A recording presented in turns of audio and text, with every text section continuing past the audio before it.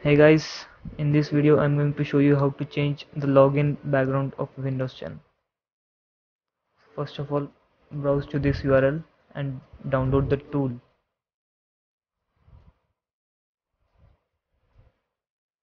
And it's downloading.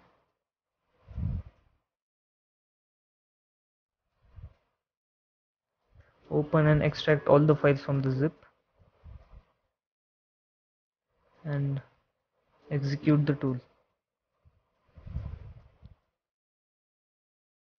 Now browse to the file which you want to keep as background.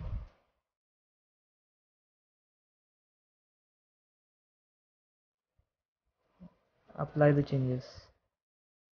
Now lock the windows to see if the changes have been applied.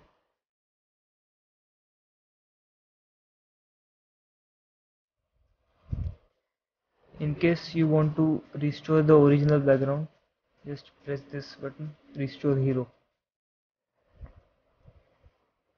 And apply changes. Thank you for watching the video guys and please don't forget to subscribe. Thank you